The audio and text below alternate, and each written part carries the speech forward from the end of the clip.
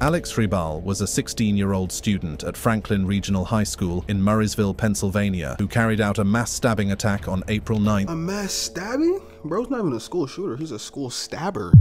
What happened to school shooters in prison? When Nikolas Cruz got his sentence for a school shooting, he never would have imagined the horrors he would face in prison. You know what's crazy? I know the video just started and I just paused it. One of my homies was in that school shooting. I remember he literally called me during it. he was like, yo, bro, I'm not gonna lie. I think I'm in a school shooting, but like, they're saying it's fireworks. And at the time, I was like, man, this kid is just, because it's on Valentine's Day. Who the hell shoot up a school on Valentine's Day, bro? Like, like, like Let's be real, bro. But nah, he was not lying, bro. I searched up on my phone and then it was just like all over the news, like, do not go to Parkland area. School shooting active. I'm like, hey, no way, this bro's in a school shooting. Perhaps he thought serving time would be a vacation and not a mental and physical battle. Chad Padilla, another notorious school shooter, was found dead under mysterious circumstances, possibly murder. Others, like Scott Pennington and TJ Lane, continue the violence in prison. The physical and psychological anguish school shooters face in prison is so terrible that many of them them choose instead of serving out time. Oh, Let's no. dive into some of the worst experiences for school shooters who got arrested. Scott Pennington. Scott Pennington, a 17-year-old senior at- Bro, this dude is not 17, bro. Yo, he's already going bald, gang. Yo, y'all, yo, type ones in the chat. Y'all think he really 17? Does that look like 17 to you, bro? that that guy's a super duper senior, bro. Pennington, a 17-year-old senior at East Central High School in Hurley, Mississippi, carried out a devastating shooting on January 11, 1995. He killed two students and wounded seven others mm. using a 38 caliber revolver. Pennington's bro was using that Abraham Lincoln.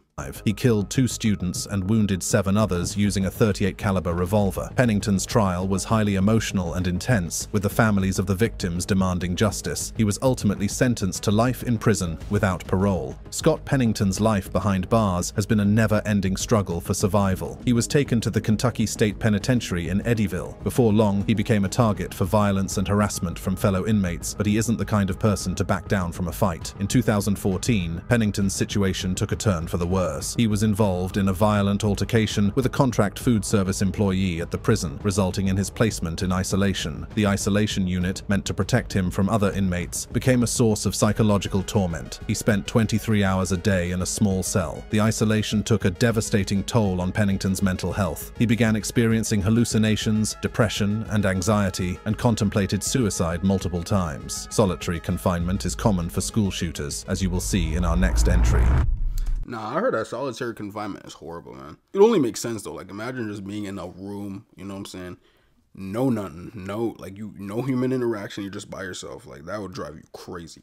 Chad Padilla, Chad Padilla, a 16-year-old student at Italy High School in Italy, Texas, carried out a shocking shooting on January 22, 2018. He opened fire in the school cafeteria, shooting one student six times. The injured student no. survived, but the emotional scars left by the incident would take much longer to heal. Padilla was sentenced to prison, where he faced the consequences of his actions. Chad Padilla's life in prison was marked by violence, uncertainty, and tragedy. As a school shooter, he was a target for aggression and hostility from fellow fellow inmates. He faced numerous threats and attacks, making his existence behind bars a daily struggle for survival. Despite the measures put in place to keep him safe, Padilla continued to face harassment and intimidation from other inmates. He was subjected to verbal abuse, physical threats, and even assaults. The constant stress and fear took a toll on his mental health, and he struggled with anxiety, depression, and PTSD. One day, he was found dead in his prison cell under circumstances that remain mysterious and controversial. The exact cause of death remains unknown, sparking ongoing speculation and investigation. Our next entry did not show remorse and would continue to act violent in prison.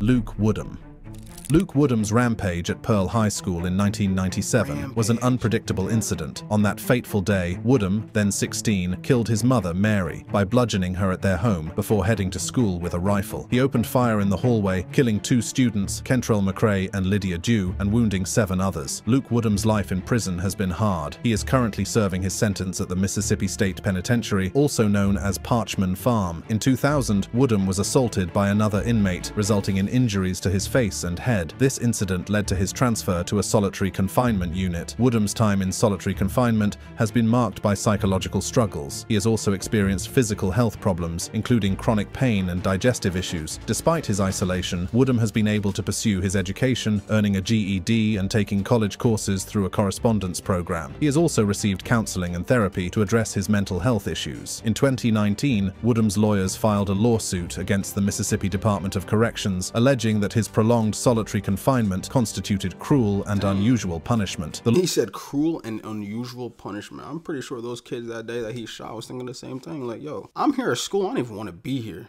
And then the second I look up, I'm just getting bullets fired. Bro, I'd be so mad. Would you even be? You couldn't even be mad though, because you're dead. The lawsuit was settled out of court, with Woodham being transferred to the South Mississippi Correctional Institution. His story is unsettling, but pales in comparison to that of a next 12-year-old school shooter. What? Nicola- Yo, did he just say a 12 year old school shooter? Nikolas Cruz. He's not 12 years old though. I think he's capping, bro. Nikolas Cruz. Nikolas Cruz, born on September 24, 1998, is one of the most notorious school shooters in recent history. On February 14, 2018, he perpetrated the devastating massacre at Marjory Stoneman Douglas High School in Parkland, Florida, killing 17 people and injuring 17 others. In 2022, Cruz was sentenced to life imprisonment without the possibility of parole. Cruz's journey through the criminal justice system has been a tumultuous one. Since his transfer to a maximum security facility, Cruz's life has become even more isolated. He spends most of his time in solitary confinement, with only one hour daily for exercise and limited interaction with other prisoners. Prior to the shooting, Cruz had behavioral issues and was a member of the Junior Reserve Officers Training Corps and the school's varsity air rifle team. He was a student at Marjory Stoneman Douglas High School, the very place where he would eventually carry out the tragic attack. Cruz's mental health has been a significant concern throughout his incarceration. He struggled with depression, anxiety, and attention deficit hyperactivity disorder, which have been exacerbated by his isolation and the constant threat of violence. He's been placed on suicide watch multiple times, and his struggles continue to this day. I was gonna say that like it's crazy because half of these people that be talking like, oh my god, they had such cruel and unusual punishment. Like, why are they in prison? Like, why are they in? Bro, these men's ki- kids. Charles Andy Williams. Andy Williams, a 15-year-old student at Santana High School in Santee, California, carried out a devastating school shooting on March 5, 2001. Williams, who was reportedly tired of being bullied, killed two students, Red Brian Cap Zucker and Randy. Gordon, and injured 13 others. In the weeks leading up to the shooting, Williams had attempted to seek help from a school counselor, but was told to return to class due to a full office. He told a school security guard that he was going to bring a gun to campus, but these claims have not been substantiated by evidence. On the day of the shooting, Williams brought an 8-shot 22 caliber Arminius HW7 revolver to school and began firing in the hallway and courtyard. The shooting lasted approximately 15 minutes, with Williams firing multiple shots before being subdued by a school security guard. Williams was arrested and later sentenced to 50 years to life in prison. According to reports, Williams has been serving his sentence at the Richard J. Donovan Correctional Facility in San Diego, California. While in prison, Williams has been involved in several altercations with other inmates and has spent time in solitary confinement. He was denied parole in 2006 and 2019 and was involved in a fight with another inmate in 2011. Williams' family was part of the problem, much like our next school shooter. Robert Gladden. Robert Gladden Jr. was a student at Perry Hall High School in Baltimore County, Maryland, who carried out a shooting on the first day of school in 2012. First on August 27, 2012, Gladden, then 15 years old, brought a shotgun to school and shot and wounded a classmate, Daniel Borowy, in the cafeteria. Borowy, a 17-year-old special education student, was critically injured but survived. Gladden was arrested and charged with attempted murder and other related offenses. In 2013, he pleaded guilty to the charges and was sentenced to 35 years in prison with all but 20 years suspended. This meant that Gladden would serve at least 20 years in prison with the possibility of parole. Gladden's life in prison is highly structured and monitored with a focus on rehabilitation and preparing him for eventual release. He has been behind bars since 2012, when he was just 15 years old. He has received psychological treatment and counseling to address his mental health issues, including depression and anxiety. He has also participated in educational programs, vocational training, and counseling counseling sessions to address his behavioral issues and prepare him for re-entry into society. However, his privileges are limited, including restricted access to recreational activities, phone calls, and visitation. He has spent periods in solitary confinement as punishment for disciplinary infractions. I was gonna say, like, what was dude's reasoning for even shooting up a school in the first place? Like, I don't even think he even mentioned that. He was just like, you know, he just came to school one day and just shot a special ed kid. I'm just like, what? like, what? What was the point, man? TJ Lane.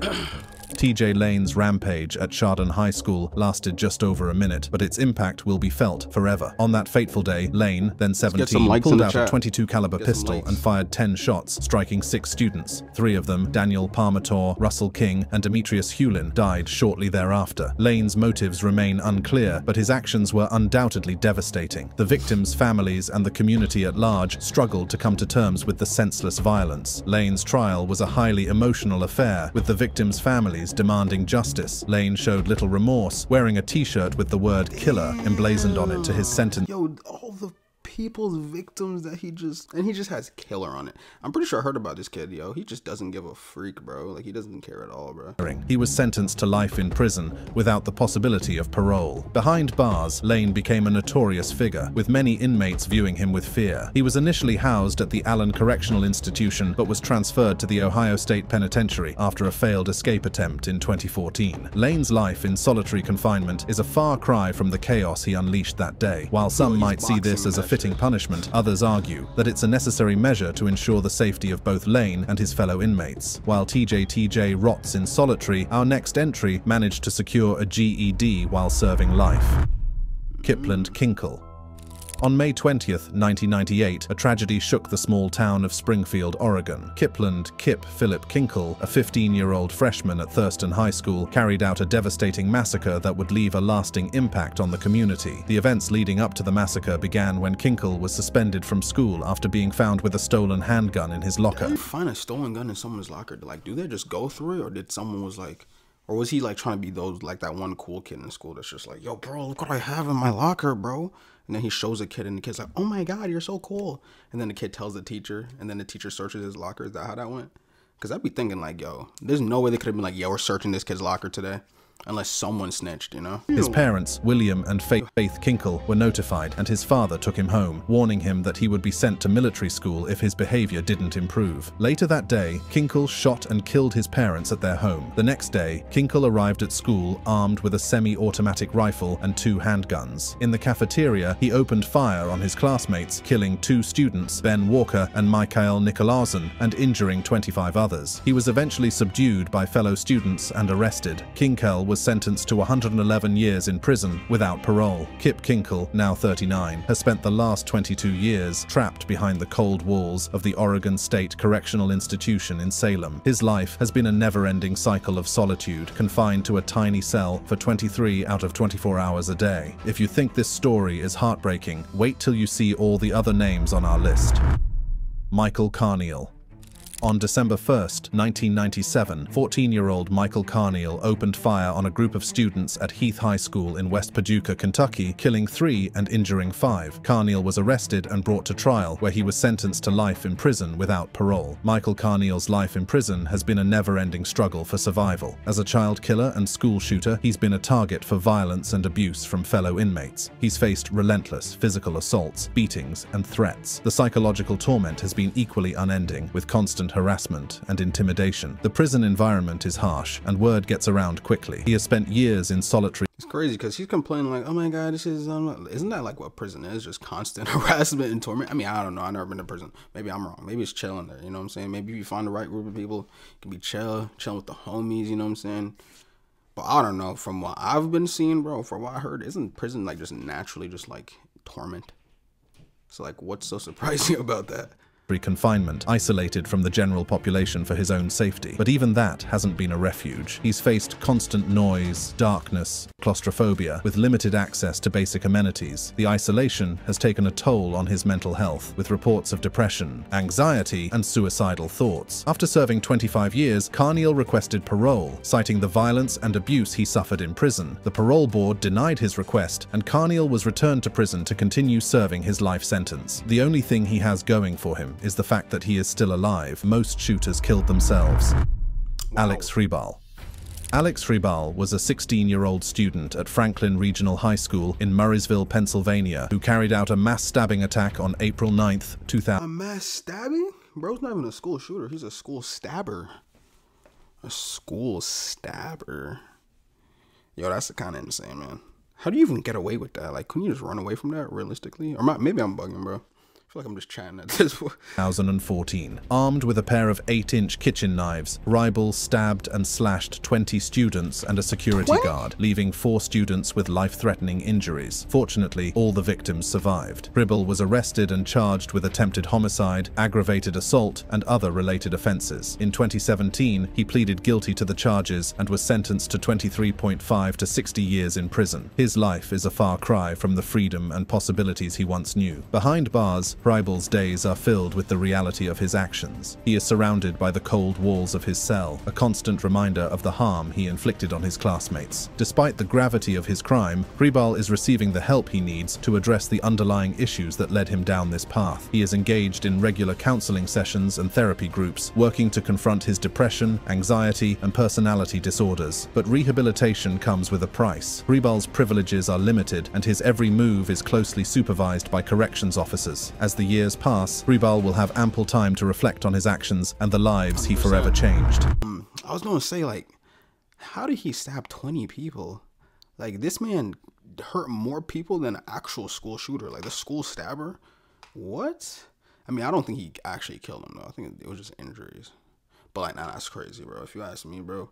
Roof Dylann Roof's name is forever linked to a tragic event in American history. On June 17, 2015, Roof, a 21-year-old white supremacist, opened fire at Emanuel African Methodist Episcopal Church in Charleston, South Carolina, killing nine African-American parishioners, including senior pastor Clementa C. Pinckney. Roof was apprehended and faced legal consequences, including a highly publicized trial where he showed no remorse and was sentenced to death. Had he not received the death sentence, Roof would have faced life in prison without parole, where he would have been isolated and vulnerable to hostility from inmates. He is currently serving time in ADX Florence, where he spends his days in solitary confinement, isolated from the world he once sought to divide. His cell, a small, sterile space, is his home for 23 hours a day. The only exceptions are brief moments of supervised recreation and limited visitation from approved individuals. The maximum security wing is his permanent residence, a place where the most dangerous and high-profile inmates are housed. Here, Roof is cut off from the outside world, with no access to the internet, phone calls, calls, or even books. Regular psychological evaluations are a constant reminder that his actions have consequences, that his ideology of hate will not be tolerated. Even his limited recreational time is supervised, a precaution against any potential violence or radicalization.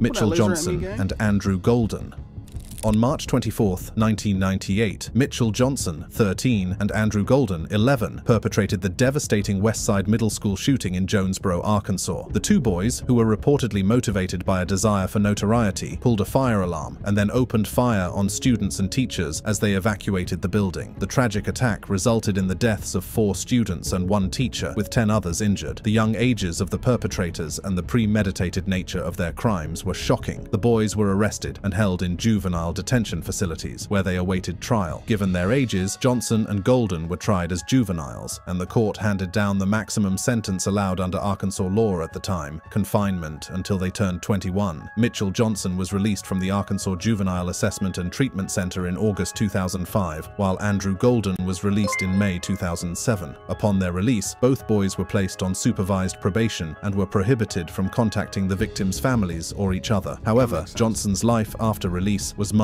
by further legal troubles. In January 2007, he was arrested for possession of a firearm and marijuana, leading to a four-year sentence in federal prison. Additional charges for theft and possession of a controlled substance in 2008 resulted in further incarceration.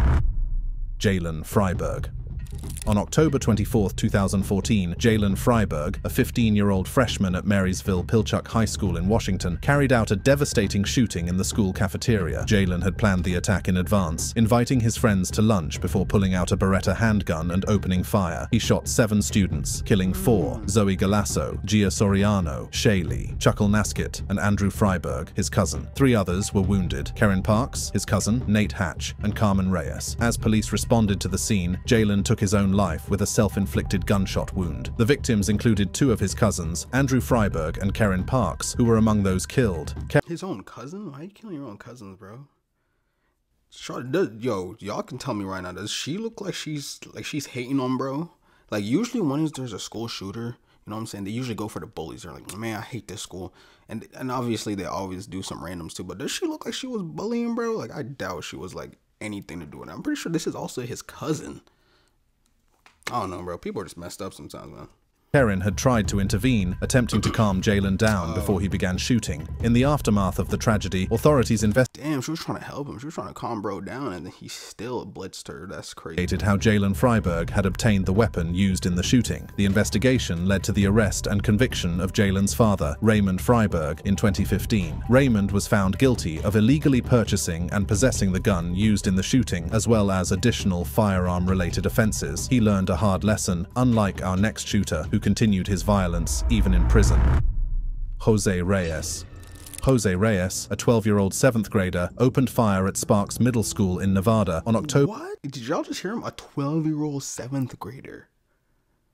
Middle school, bruh. October 21st, 2013. He shot and killed a teacher, Michael Landsberry, and injured two students before taking his own life. Reyes used a semi-automatic handgun he had taken from his parents' home. He initially shot a student in the shoulder, then killed Landsberry, who was trying to intervene. He then shot another student in the abdomen before turning the gun on himself. The shooting lasted only a few minutes, and Reyes fired six shots in total. After learning about the shooting at Sparks Middle School, Liliana Reyes, his mother, noticed that the cereal boxes in the kitchen cupboard had been moved, suggesting that her son had accessed the family's guns. She called her husband to alert him to the situation. Later, police found two notes written by Jose in a spiral notebook inside his backpack that provided some insight into his motives. The incident was one of the first school shootings in the United States involving a student as young as 12. Had he not ended it all, he would have faced a hard life in prison due to his age and vulnerability. This story brings us to our next entry, The Angel of Death. Nah, they say he ended it all. That's crazy, man. Imagine being that young and just thinking of that violently to even just end your own. Like it takes a like I'm not gonna lie, even after like blitzing a whole school, like it still takes some balls to end your own life. I'm not gonna lie. If you if you guys um remember that story about where was it like the the guy that shot up the Tops Market, whatever it was, like I forgot, but like he was recording it. If you know what I'm talking about, you know the Buffalo. I think it was Buffalo. I don't remember, bro. But he shot up somewhere. Like he shot up some tops or something, and he was trying to end his, but he couldn't. Like he just couldn't. Like it takes some nuts. So like a 12 year old could do that and shoot up a whole. Nah, bro. That kid has some stuff on his mind. Jeffrey Weise.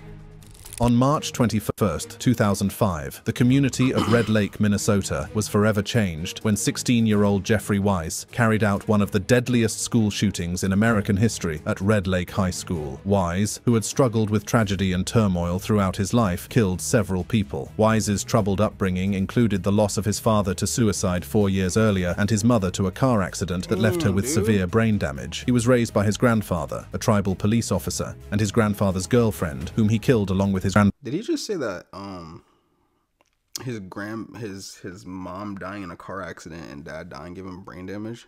Is that is that how it works? I'm, I'm gonna replay that. turmoil throughout his life killed several people. Weise's troubled upbringing included the loss of his father to suicide four years earlier and his mother to a car accident that left her with severe brain damage. That can give you brain damage? I thought that would give you like, you know what I'm saying, maybe depression or some like psychological mental illness, I guess, but brain damage? He was raised by his grandfather, a tribal police officer, and his grandfather's girlfriend, whom he killed along with his grandfather before heading to the school. Yo, chat, what y'all think, bro? Like, let's get some more comments in here. Like, what y'all think? Y'all think you can get brain damage from um going through some that tragic and trauma, like traumatizing? Because I'm thinking about brain damages and like, you know what I'm saying, your brain whiplashes in your skull, you crash, you know what I'm saying, car crash, punched up in the head, drop, fell wrong way, brain damage, concussion. I didn't know trauma could give you brain damage. What y'all think, bro? Let's get some chats. Weise had a history of disciplinary issues and was known for drawing skulls and swastikas, expressing admiration for Hitler and calling himself the Angel of Death. At the school, Weiser targeted students and staff, killing and injuring many before engaging in a shootout with police. He eventually took his own life in a classroom. In total, Weiser killed nine people and wounded seven before taking his own life. The lives lost included his grandfather, his grandfather's girlfriend, a security guard, a teacher, and five students. Some believed death was a mercy for him compared to the mental and physical anguish he would have faced in prison had he lived. 100%. Eric Harris and Dylan Klebold.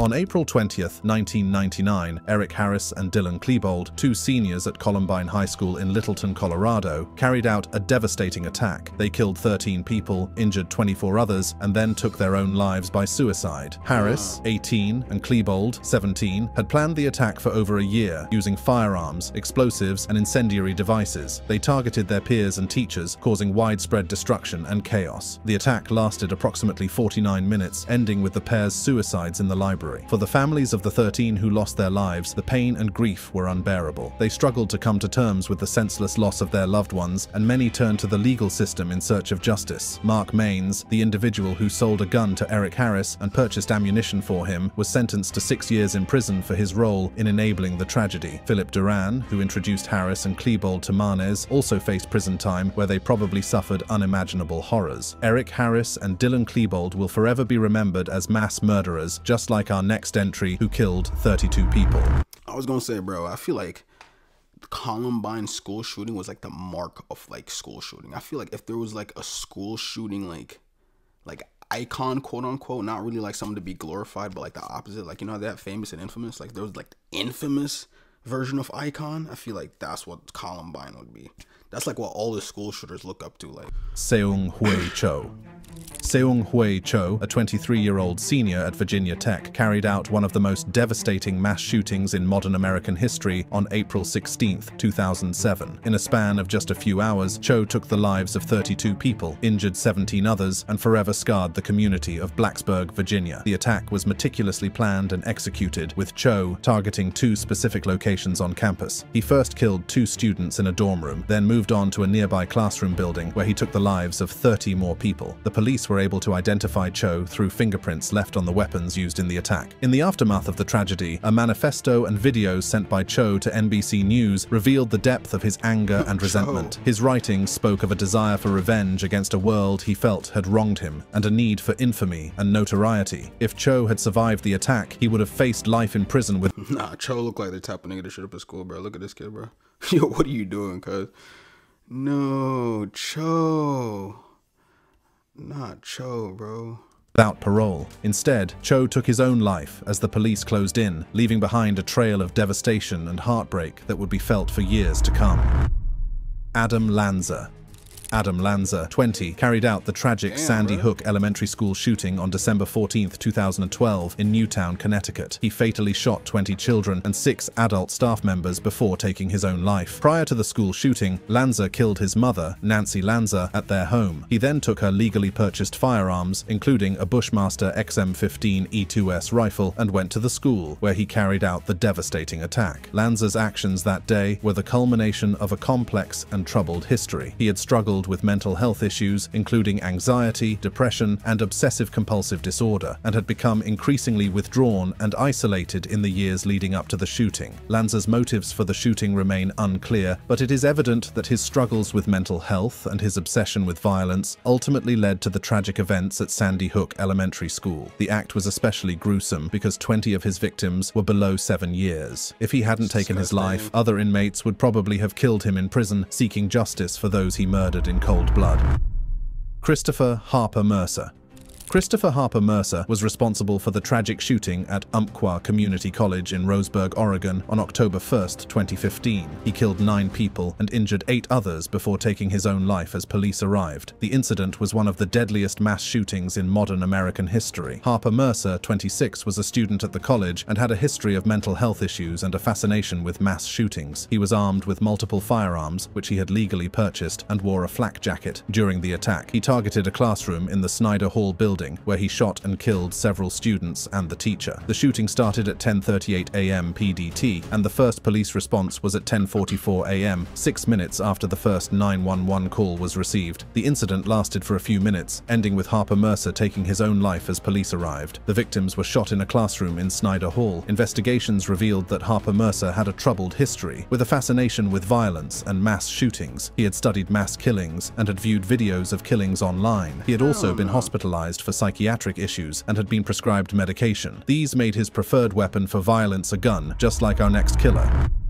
Salvador Ramos on May 24, 2022, a devastating mass shooting occurred at Robb Elementary School in Uvalde, Texas. Salvador Ramos, an 18-year-old former student, carried out the attack, resulting in the tragic loss of 21 lives. Ramos, who had a history of being bullied and struggled with a speech impediment, had become increasingly fascinated with school shootings and sought notoriety on social media. His online behavior had raised concerns among his peers, with some even nicknaming him School Shooter. On the day of the shooting, Ramos arrived at the school ironic. Around 11.30 a.m., armed with a semi-automatic rifle and wearing body armor. He entered the school through an unlocked door and made his way to a classroom. Yo, I love the fact that he's just casually scrolling through the school with a gun, bro. No one in sight. He's just like, nah, nah, nah. On the day of the shooting. Ramos arrived at the school Just around 11.30 a.m., armed with a semi like no sense of urgency, no like nothing, no like wow, I'm really in this bitch shooting this shit up. Nah, he's just like I'm chilling. Shooter. On the day of the kid, bro. Like, shooting, just look at- Ramos just look at how he's walking. arrived at the school around 11.30 a.m., armed with a semi-automatic rifle and wearing body armor. He entered the school through an unlocked door and made his way to a classroom where he began shooting. The victims included 19 students, aged 9, 11, and two teachers, Eva Mireles and Irma Garcia. The shooting lasted for approximately 45 minutes before Ramos was fatally shot by a Border Patrol agent. The agent, who was off duty and in the area, responded to the scene and engaged Ramos, ending the attack. Perhaps Ramos was saved from unimaginable prison horror when he was shot. Thanks for watching. Check out the Nah, he definitely was, bro. I'd 100% say he definitely was. What's crazy to me is like I remember watching that whole um